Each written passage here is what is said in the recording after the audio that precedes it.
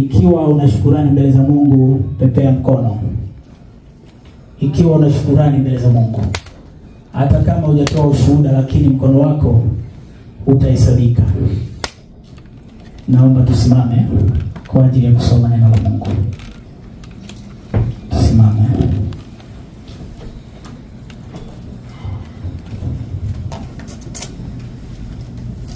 Msomaji wetu ambaye yupo tayari utatusomea katika Mathayo sura ya kumi na nane mstari wa tano hadi saba.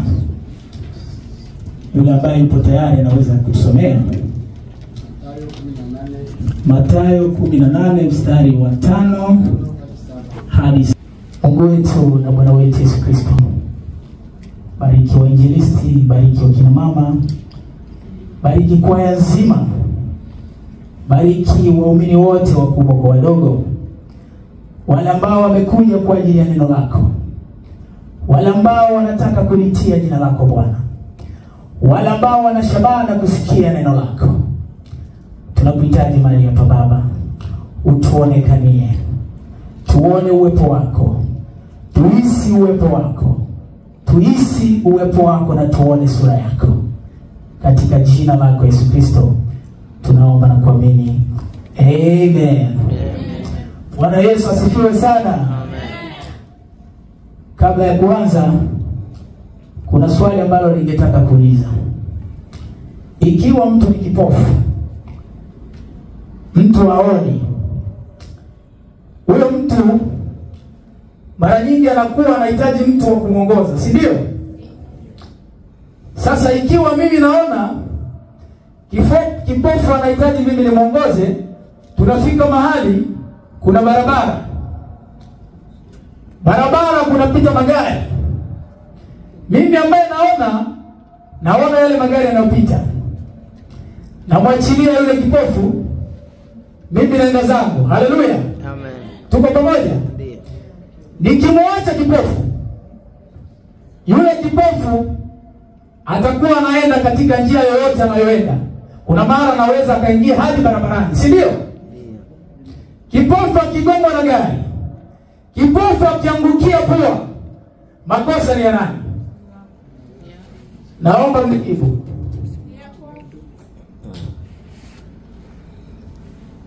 Naomba mnijibu jamani. Mimi ndiye naona, namwongoza kipofu kufika kando ya barabara, namwachia kipofu. Haoni, ile tu anafanya hivi, anasikia ku, anagongwa. Mimi ambaye naona, namwangalia kando. Kosa la nani? La kipofu au mimi ambaye niliyempeleka? Naomba jibu. Mimi ndiye niliyempeleka, kwa sababu mimi naona nimemwachia kando barabara, kipofu amegongwa.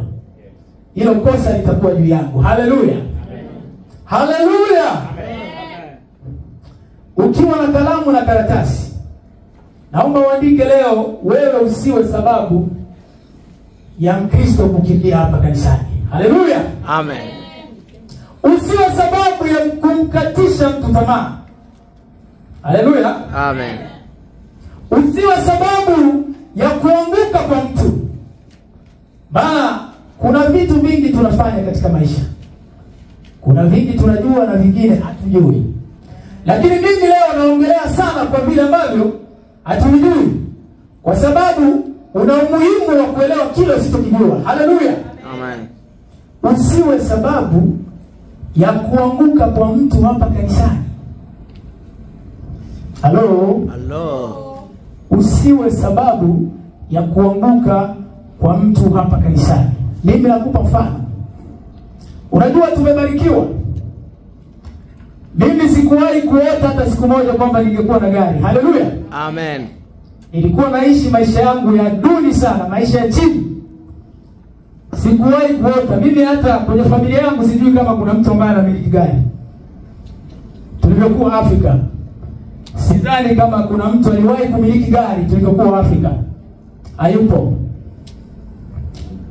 Labda pikipiki, na hata pikipiki yenyewe ni mtu wa mbali, sio ndugu wa karibu. Haleluya! Amen.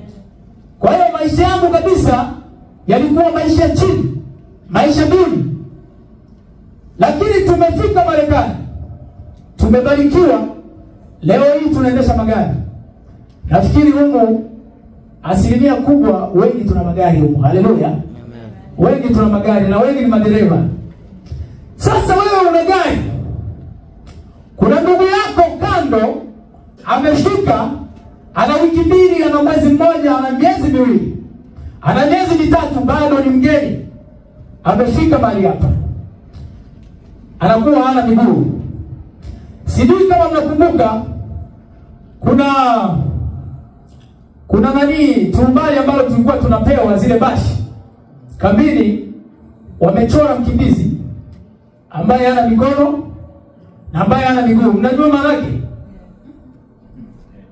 Wamechora mtu ambaye hana mikono na hana miguu. Ina maana ina maana yule mtu hajiwezi, yule mtu hana uwezo. Ni sawasawa na huyu ambaye ni mpya, ambaye amekutegemea wewe, ambaye amekutangulia mahali hapa, anahitaji kwamba wewe mwongoze umwambie hili linafanyika hivi, umwambie hapa tunaingia hivi na hapa tunatoka hivi. Haleluya! Amen. Lakini wewe unawasha gari lako asubuhi, mtu anakwambia nipitie bwana, na mimi nataka niende kanisani. Unasema sasa, huyu dada naye mbona ananikwama? Haleluya! Ina maana wenye gari humu ni mimi tu. Haleluya! Amen. Kwa, kwa nini hamuoni baba ya Mungu? Ina maana mimi tu ndo lazima? Haiwezekani. Mimi nitaenda hivyo tu, lakini mara ya pili mimi sitafanya hivyo. Wewe umejisemesha mwenyewe, lakini hujaongea na yule mtu ambaye unamsaidia. Haleluya! Amen. Hiyo inabaki siri yako na Mungu wako, lakini ulivyonuna, Mungu ameandika kwamba huyu jamaa anafanya, lakini moyo hauko safi, si ndio? Unaenda kumkuta jamaa pale ameshajiandaa, amepiga kitoko kama mimi, yuko tayari kwenda kanisani. Ndugu yangu, ingia kwenye gari. Anaingia kwenye gari, mnaenda mnakuja kanisani. Siku ya pili anakupigia simu, unakataa kupokea. Anaangalia namba, niangalie namba ya nani? Ya Yadike. Yadike upo? Najua wewe unabeba, una moyo safi sana, lakini natoa mfano kwa jina lako tu. yadike anapigia yadike namba, namba ya Yanike haipatikani. Haleluya! Mtampigia nani? Kumpigia Kaskile amemwekea repondeli ile, wana, wanasema repondeli. Haleluya! Amen. Bwana Yesu asifiwe. Amen.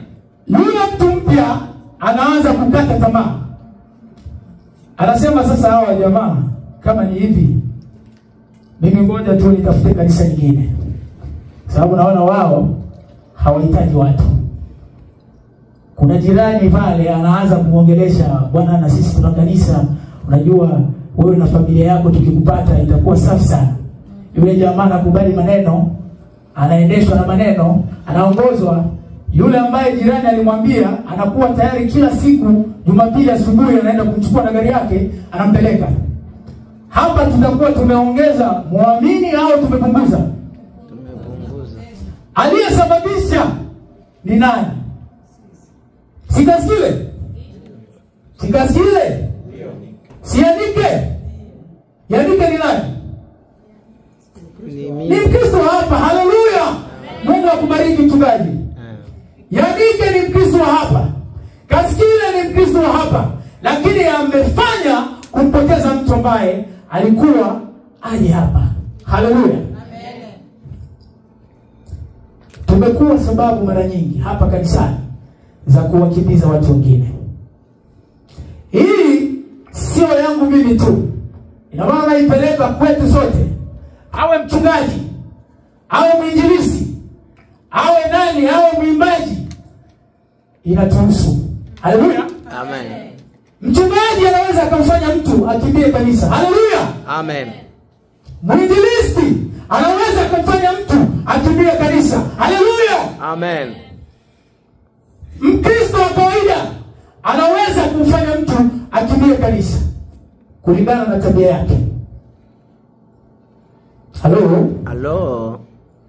wakristo wa kawaida ndio sisi.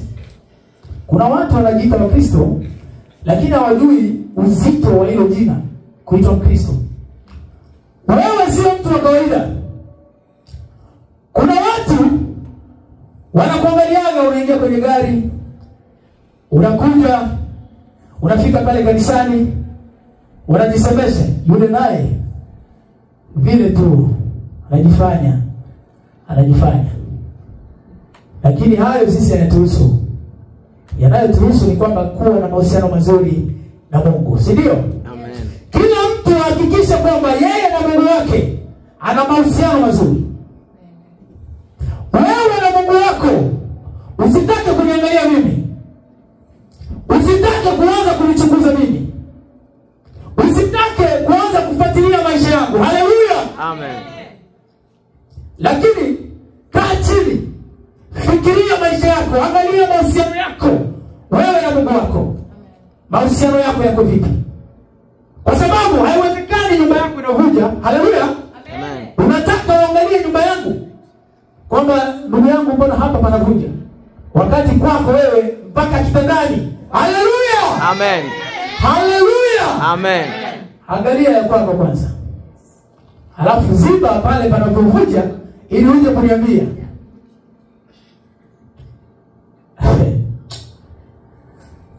Kuna vitu vinashangaza sana. Unajua sisi ni wakristo. Tunaambiana kwa sababu tusaidiane kuna dhambi ambazo tunaziona ni ndogo lakini zitatupeleka wapi? Jana. Kuongea maneno nyuma ya mtu. Haleluya! Amen. kuongea maneno nyuma ya mtu. Unadhani unanijua? Ndio. Mimi nikikupa mgongo unaanza kuniongea. Na hata kama hata kama mimi sijali lakini unaponiongelea ina maana huwezi kuniambia face to face si ndio? Unapoongea nyuma yangu huwezi kuniambia face to face. Mm. na ikiwa huwezi kuniambia face to face hilo jambo sio salama. Hilo jambo sio salama. Hivyo vitu kanisani watu wanavifanya. Na kila kila siku mtu anakuja kanisani. Na akiitwa yeye ni mkristo anasema ndio mimi ni mkristo. Haleluya! Amen. kwa nini mtu mkristo lakini unamsema mtu mgongoni mwake. Wewe ni mkristo wa wapi? Unamsema mtu asikupe mgongo tu. Unacheka naye au unajua dada unajua mnamuona yule mama pale? Yule ni mama yetu. Kwa miaka yake ni mama yetu. Lakini katika kristo yesu anamwona ni msichana. Haleluya! Amen. Yesu anamwona ni msichana. Haleluya! Amen. ukifika hapa mungu anaangalia roho yako. Amen. mungu anaangalia miaka yako.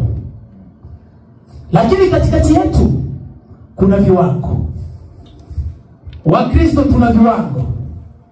Na viwango vinazidiana lakini sasa kwa wale ambao tayari wameshaendelea kwa wale ambao wamepiga hatua ndio watu tunategemea wawe msaada kwa wale ambao wako chini. Haleluya! Amen. ukishapiga hatua kumi kuna mtu ambaye amepiga hatua mbili. Unategemea wewe wa hatua mbili. Utasaidiwa na wewe hatua kumi utasaidiwa na hatua mbili. Wewe hatua kumi utamsaidia huyo ambaye ni mchanga. Haleluya! Amen. wewe wa hatua kumi utamsaidia mchanga. Kwa sababu ngoja nikwambie kitu unajua wachanga katika mambo ya kiroho iko hivi. Unaweza ukanikuta mimi niko nyumbani kwangu. Kuna mboga ambayo imepikwa mimi huwa nakula kama kawaida sina shida. Haleluya.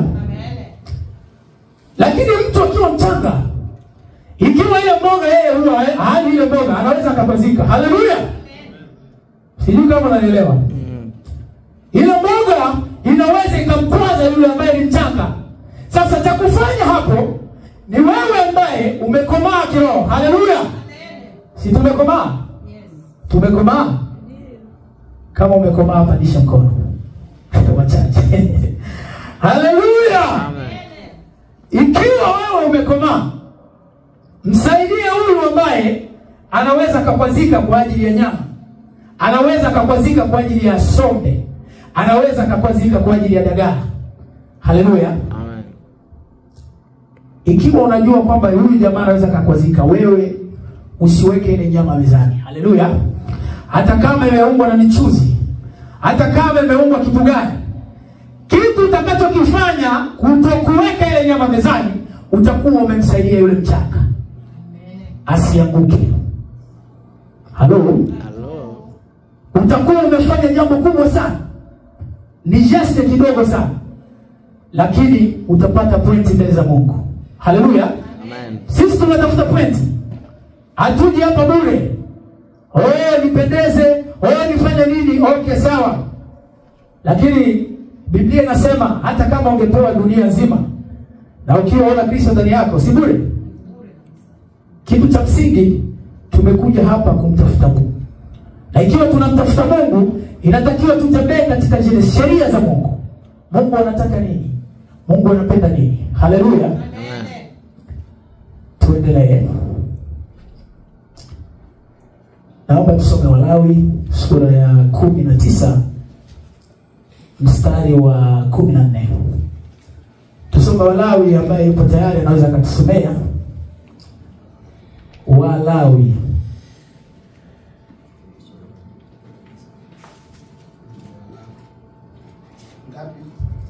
Walawi kumi na tisa mstari wa kumi na nne. Sijui utahitaji mike Hapana. eh? Okay. Okay. Ndugu zanguni, ngoja niwape mifano ambayo itawafanya mwelewe hiki ninachokiongea. Unajua, nilishuhudia jambo moja kwenye mitandao ya kijamii, lakini tambueni, yote tunayoyaona kwenye mitandao ya kijamii ni mambo ambayo yanapitika katika maisha ya kawaida. Haleluya! Kuna watu wanaongeza na kuna wengine wanapunguza, lakini mengi ni maisha tunayoyaishi kila siku. Kuna dada mmoja ni Sera Kriste, alikuja kanisani. Kabla ya kuja kanisani, akajiangalia kwenye kioo, amependeza sana, amependeza kabisa akaangalia mbele na nyuma, akasema niko sawa. Macho yake alikuwa anaona yuko vizuri, halo. Lakini kitu ambacho kilishangaza ni kwamba yule dada hakuwa anaenda kanisani kwa sababu ya kutafuta Mungu, alikuwa na lengo lake. Alikuwa na lengo lake, na alichokifanya ni kwamba yeye anatafuta kukaa kiti cha mbele kwa sababu wachungaji wamuone, mhubiri amuone. Haleluya! Ile tu anakaa mbele. Hebu tuulizane swali, tuzungumze, sisi ni ndugu, si ndio? Mtu amevaa nguo ya hapa kwenye mapaja.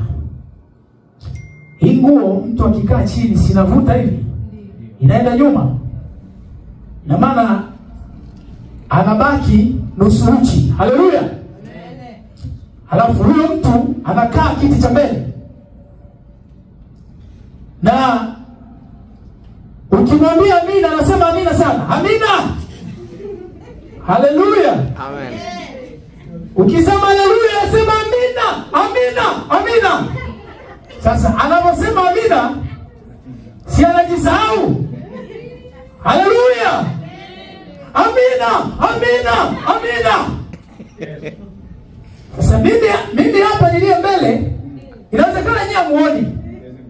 Lakini mimi naona makubwa. Haleluya! Amen. mimi naona mengi. Haleluya! Amen. huyu ametuletea shida si ndio? Yule mchungaji alimchukua yule mwanadada Aka- akamwambia wewe ukikaa hapo ina maana mimi siwezi kuhubiri. Nitakiwa nikutoe nje uende kabisa nje. Alafu mimi niendelee na somo langu. Haleluya. Nataka niseme nini?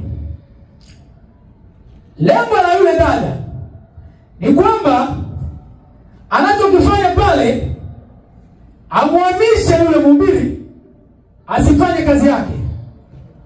Kwa sababu haiwezekani wewe una nguo nyingi katika nguo zako lakini unatafuta nguo fupi katika nguo zote. Unaiona kwamba hii ndio nguo salama. Na unaivaa bahati mbaya unakuja viti vya mbele. Na ukiambiwa amina unaruka.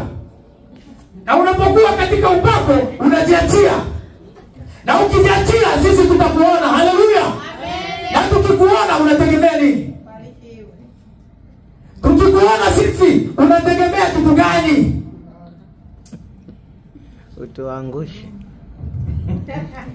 Angalisho. Usije na moyo wa kuja kumharibia mtumishi wa mungu. Usije na moyo wa kumharibia mtu ambaye yuko hapa kwa ajili ya mungu. Lakini wewe unakuja kwa sababu fulani. Haleluya. Amen. Kwa sababu matokeo yake yanakuwa mabaya sana. Una, unajua watumishi wa mungu watoto wa mungu wanalindwa na mungu. Na ikiwa kuna adui ambaye anakuja pembeni anataka kuharibu kitakachofanyika ile vita inamgeukia yule mtu. Haleluya! Kwa sababu sisi tunaishi kwa maombi si ndio? Tunaishi kwa maombi. Na ile vita mtu inaweza ikawa njia ya yeye kuokolewa. Haleluya! Amen. Anaweza kaja hapa akatubu kitu kingine kinachofanya watu wasibarikiwe. Mimi hapa wanaona watu wanapita wanasema mungu amenibariki. Mungu amenibariki amenifanyia hili na hili. Ni sawa. Lakini sasa sijawahi kuona mtu anajitoa mwanga. Anapita hapa anasema kiukweli mungu anisamehe kwa kile nilikuwa namsema dada yangu jana nilikuwa namsema hivi sijawahi kuona. Haleluya! Haleluya! Sijawahi kuona.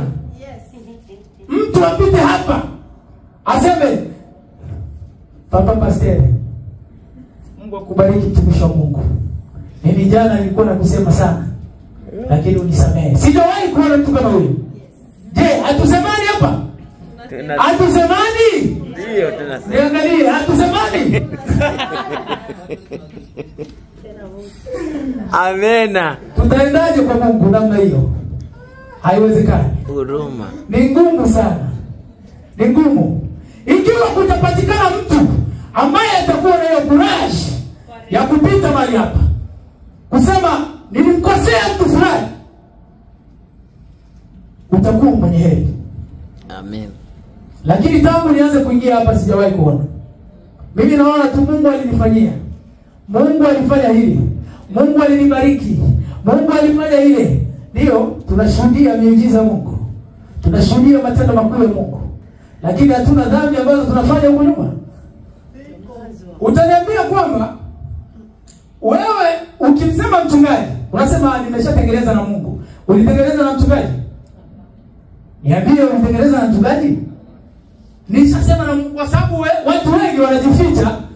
Mambo ya mungu na mtu ni binafsi. Okay hatutaki kujua. Hatutaki kujua hilo. Umetengeneza na mchungaji? Unamsema mchungaji kutwa nzima. Unamsema na wewe unamweka mdomoni. Mtumishi wa mungu lakini nataka nikwambie hiyo itakuwa kwako. Kwa sababu ni mafuta wa mungu. Wanalindwa na mungu. Kazi wanayoifanya ni kazi ya Mungu. Usidhani kuja hapa kulisimamia kundi hili. Ni kazi ndogo, ni kazi kubwa sana. Na ni majukumu makubwa. Cha msingi tu ni sisi kuombea, kuombea kila siku, wapate kuwa na nguvu, wapate kuwa na moyo wakuja hapa kutoa zaidi na zaidi kile ambacho Mungu anawaongoza. Haleluya, haleluya. Akipatikana mtu ambaye atapita hapa kusema siku moja kwamba kuna dhambi aliyoifanya, nita- nitampa dola hamsini. Usidanganye, useme ukweli, kwa sababu Mungu na ukidanganya utakuwa umejifunga kitanzi. Haleluya, Amen. dola hamsini ipo ibada inayokuja apite hapa aseme nilimkosa. Sio sio uje useme tu mimi nilimtukana mtu. Hapana, hiyo siwezi kupa pesa yangu, siwezi toa hivyo. Onyesha kosa ulilotenda, kwa sababu kuna makosa mengine ni rahisi kutenda, lakini kutubu ni mzigo. Kosa kama hiyo, njoo niseme hapa. Mimi hata dola mia nitakupa, naongeza dawa dola mia nakupa, nakupa kabisa. Tukianza kufanya hivyo, ina maana tunapanda viwango, na hivyo ndivyo vitu vinatufanya tubaki ngando pale pale. Mkristo miaka kumi, lakini hakuna mabadiliko. Mkristo miaka ishirini, lakini hakuna kupiga hatua. Haleluya! Mkristo hutakiwi kuwa kila siku chekechea. Simejua chekechea, Ndiyo. maternel? Maternelle Nasari. nasari utakiwi kuwa chekechea kila siku. Na ndio maana hata sisi tulizaliwa. Mimi sikuzaliwa hivi. Nizaliwa mtoto na mpaka hivi. Hivyo ndo mtu anapokuwa. Hata katika mambo ya kiroho utakiwi kubaki pale pale. Lakini mimi naona rangi ya watu ni ile ile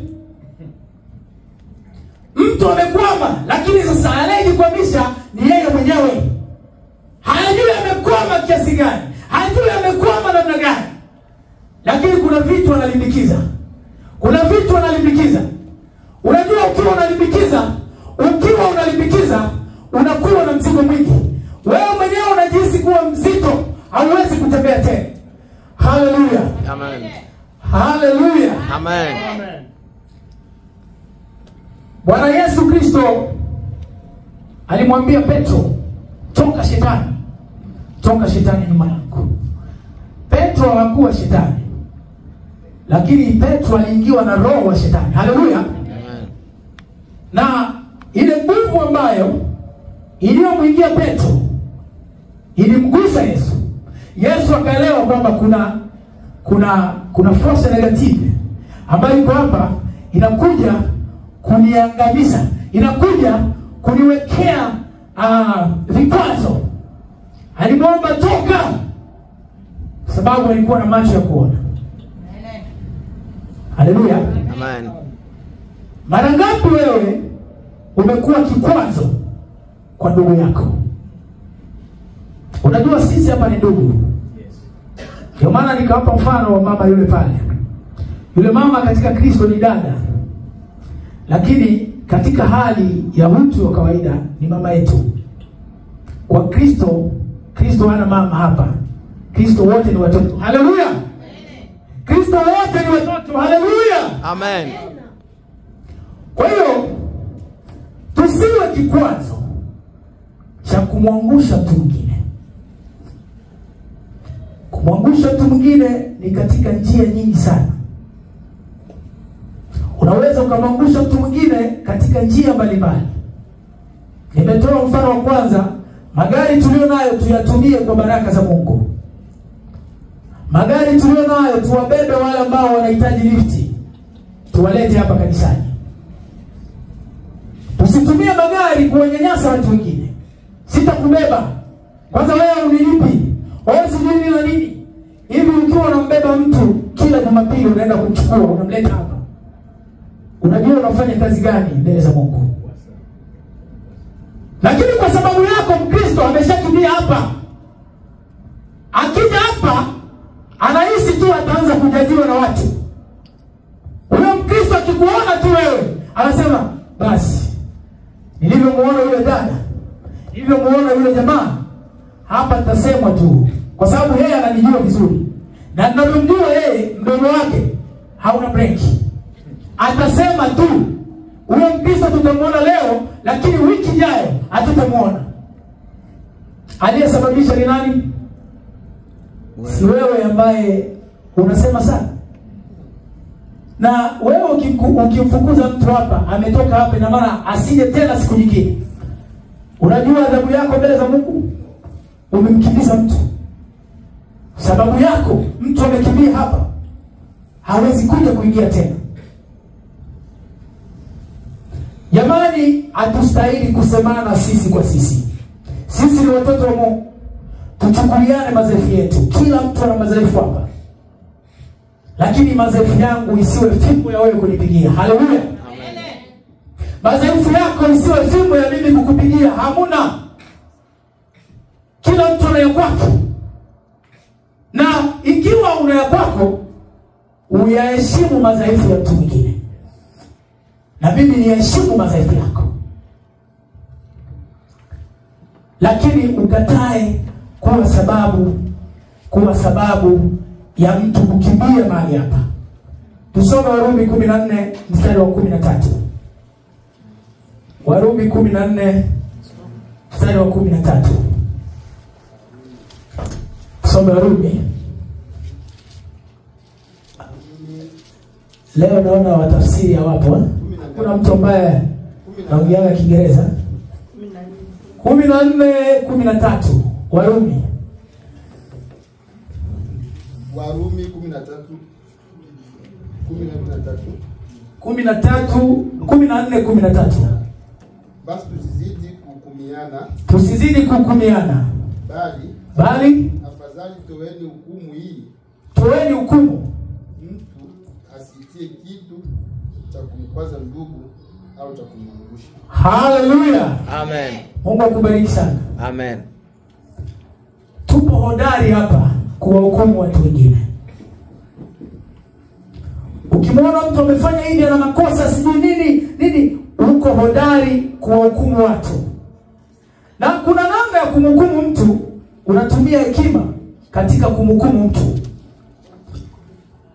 lakini kuna watu wengine hawatumii hekima katika namna ya kuwaonyesha watu neno la mungu linasema nini. Kwa sababu sisi hatuna uwezo wa kuhukumu. Ambaye ana mamlaka ya kuhukumu ni mungu peke yake kwa sababu yeye ndiye ana hukumu ya haki. Haleluya. Amen. mimi naweza nikakuhukumu naweza nikapendelea kulingana na vile ninavyoelewa. Lakini mungu akija anafanya kisawasawa zaidi haleluya. Amen. mungu peke yake ni mkamilifu. Hakuna mkamilifu mwingine aliyopo. Ndugu yako hali samaki. Mimi nakupa huu mfano kwa sababu vinatokea. Ndugu yako hali nyama. Nyama huwa inamkwaza. Amekutembelea. Kwa nini uweke unyama mezani? Umeshajua. Ikiwa ujui sawa lakini kama unajua ukiweka nyama mezani na hiyo nyama ni kwazo kwa ndugu yako wewe ni sababu ya kwazo la ndugu yako. Wewe ni sababu ya kwazo la ndugu yako. Usifanye hivyo. Ikiwa ndugu yako anakula sombe basi mtafutie hiyo sombe hale kwa upendo tu. Tusianze kuwaza mbali tusiende mbali tusiende mbali.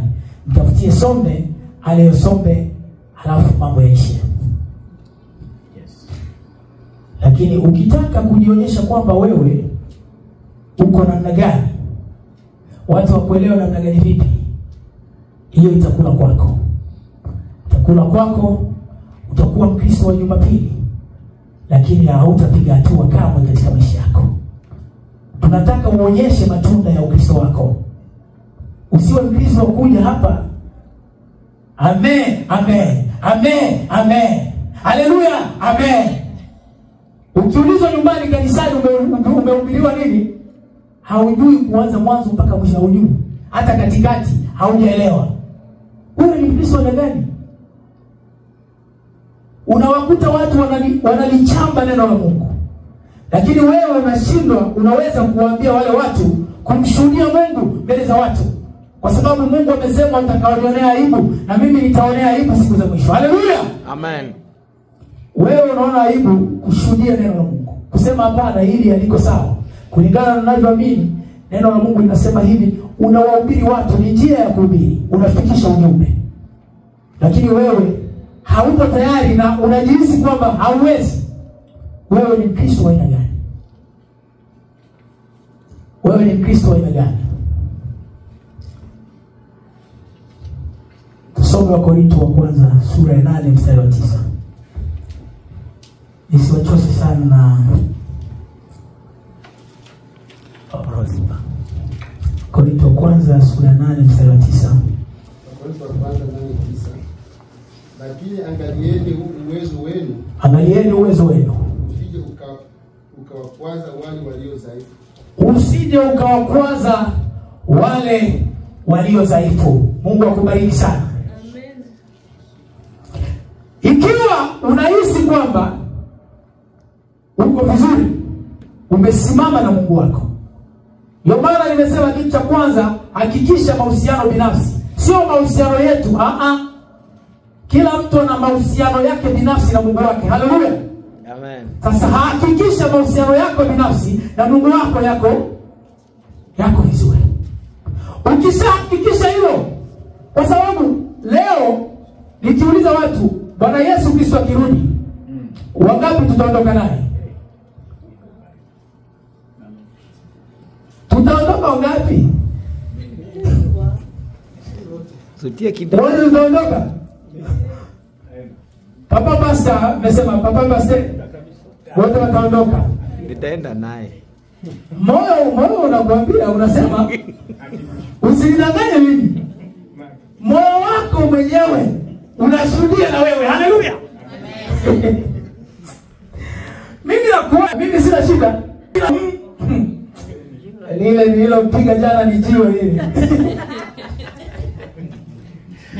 Lile siwezi kupita. Haleluya. Amen. haliwezi kulipitisha lile lile ambalo kila mtu anajua. Na ukishajua hilo hilo hicho ni kiwango kwamba ah, kumbe shida iko sehemu fulani. Bwana nitengeneze ili niwe tayari. Haleluya! Haleluya! Amen. tengeneza na mungu wako. Mahusiano binafsi na mungu yanazidi mahusiano ya sisi wote humu. Kusema kwamba tumeokoka umeokoka. Wewe unajua kama mimi nimeokoka?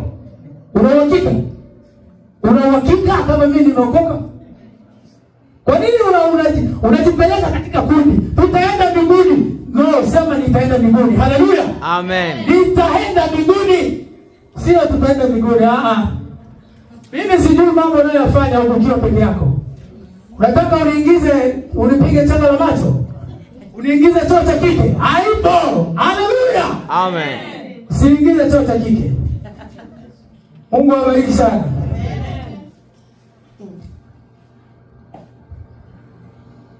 watu wengi wanaepuka kuja kanisani kwa sababu ya kuogopa hukumu ya watu. Kama nilivyosema watu wanakimbia. Lakini sisi wote sio sababu. Kuna mmoja ambaye hapa kati yetu ni sababu. Anamfanya yule akimbie. Anamfanya yule asije asionekane hapa tena. Jiulize wewe umekuwa sababu mara ngapi ya kutukimbizia wakristo wasije hapa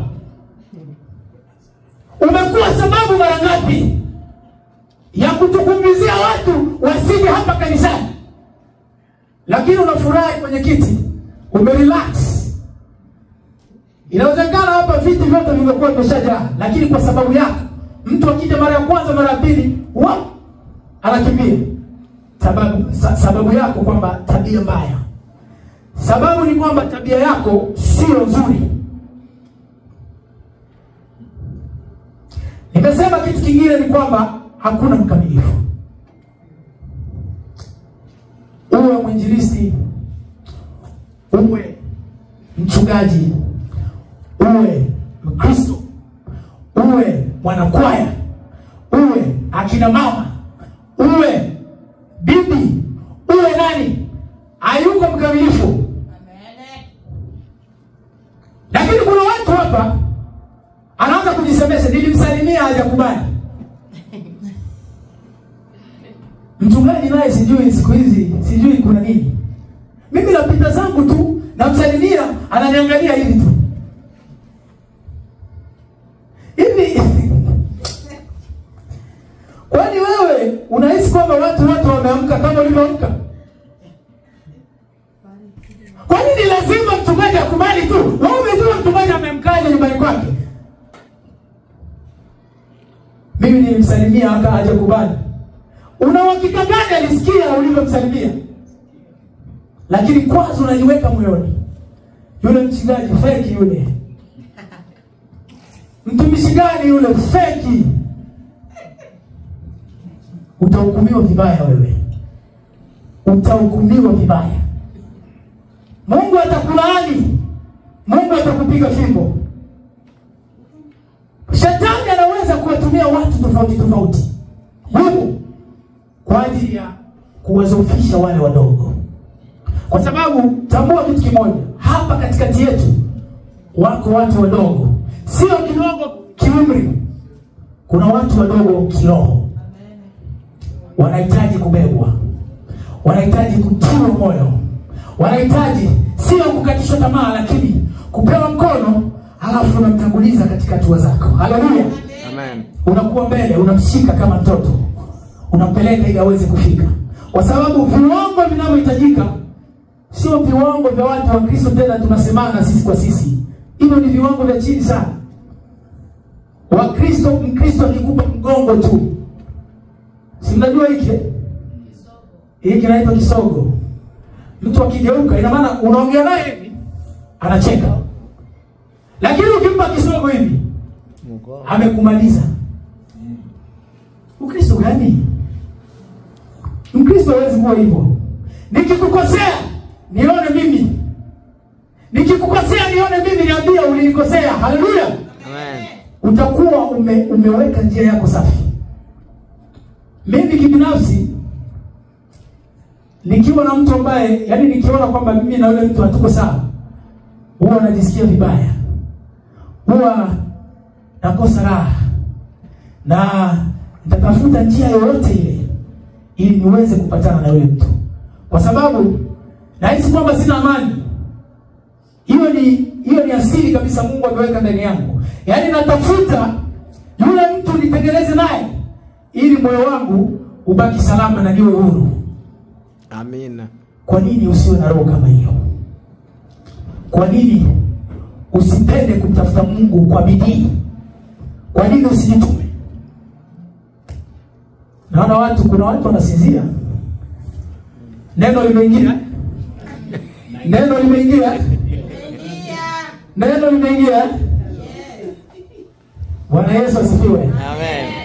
bwana yesu asifiwe sana. Amen. tunaenda kushuka ina maana tunamaliza kabisa. Kuna wakristo hapa Mbeya na wengine ni wachonganishi katikati yetu najua wewe ni mwana wa mungu. Najua wewe ni miti ya mungu. Mungu anakupenda sana. Na hili nalolisema sijui ni nani ambaye ni mbea na sijui ni nani ambaye ni mchonganishi. Lakini mungu anasema kwamba tuache umbea. Si mnajua umbea wote? Umbea unajulikana eh? hiyo roho ni roho chafu kanisani makundi watu wawili wana kundi yao watu watatu wana kundi yao. Kanisa watu hawao hivyo. Hiyo sio kanisa. Makundi ya nini?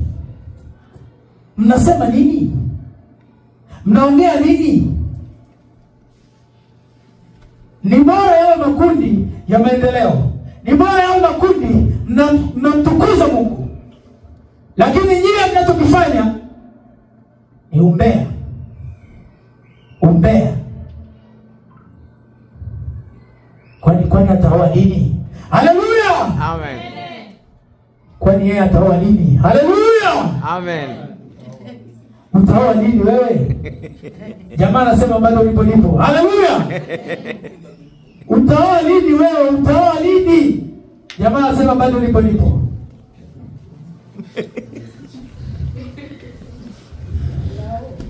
Bado niko niko. nikikukosea lazima nikufuate. Nikuambie umenikosea. Kwa sababu nisitegemee tu kukaa mbele za mungu kumwambia mungu nisamehe, nilimsema mtu. Hiyo bado. Bado kabisa. Mfuate mtu. Na nimekumbusha tena kwa kumalizia niseme kwamba ambaye atakuja hapa wiki inayokuja kushuhudia kusema kwamba nilifanya kitu dhambi fulani nitampa dola mia. Dola mia hipo mm. umbea tuache kanisani.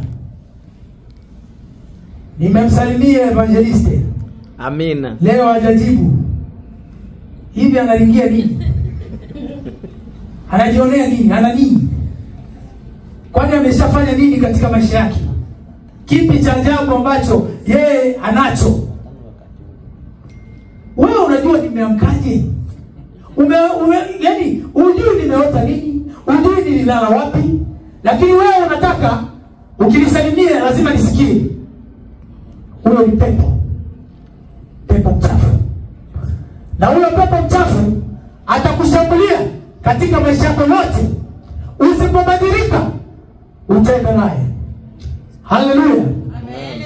Jina la bwana libarikiwe. Amen. kaa mbali sana na kuwasema watu vibaya ukitengeneza jambo hili utakuwa umejitengenezea njia wewe mwenyewe. Njia ya kweli ambayo itakufikisha kule sote ambako tunategemea. Usiwe ni mtu unakuja hapa tunakuona katika mwili wa nyama umetulia lakini rohoni kwako kuna mambo mengi. Unayasema sisi hatuyasikii moyoni lakini mungu wa mbinguni ambaye hana siri ambaye anaangalia hata yale yaliyo moyoni. Haleluya. Anajua yale yaliyojificha. Mungu anakuona. Mungu anakuona. Nafikiri nafika mwisho kwa leo. Tusiseme sana. Wengine wameshaanza mbona naye aishi anaongea sana. Kwa hiyo yeye anajiona nani? Ameshafanya nini naomba tusimame ili tumwone mungu. Tusimame jamani. Kwa haya machache nafikiri anaweza kutusaidia. Tumwombe mungu ikiwa una hitaji lako ikiwa una jambo lolote naomba upandishe mkono mkono wa kulia. Tukuombee leo upate baraka za mungu. Upandishe mkono wako mungu wetu na bwana wetu yesu kristo tunasema asante baba kwa sababu umeanza nasi na kumaliza pamoja nasi. Jina lako libarikiwe maana hakuna kama wewe. Wewe ni mungu wa kweli tena ni mungu mwenye mamlaka. Baba naja mbele zako kama mtumishi wako. Wako wengi walioinua mikono yao. Kila mtu anajua haja ya moyo wake baba mahitaji yao yote na yakabidhi mikononi mwako. Nikiamini baba utapata suluhu ya kila mmoja wetu. Katika jina la yesu kristo. Wewe ni mungu ambaye tunayekuamini. Tuna hakika na wewe. Tuna imani na wewe. Hatuna wasiwasi na wewe. Basi fanya maisha yao yabadilike. Kiroho kama vile kimwili. Kiroho kama vile kimwili. Bariki huduma zao. Bariki mipango yao bariki mafanikio yao. Wale wanaohitaji kuwa mamilionea wawe mamilionea. Amina. wale ambao wanajenga nyumba ijaisha iishe. Amina. wale ambao wana miradi mbalimbali maliza hiyo kristo. Katika jina la yesu kristo tunaamini unaweza waliopo katika vitanda hospitalini baba wape uponyaji mkamilifu. Tunaamini utatenda. Heshima mamlaka utukufu na nguvu tunavirejesha kwako ni katika jina la Yesu Kristo tunaomba na kuamini.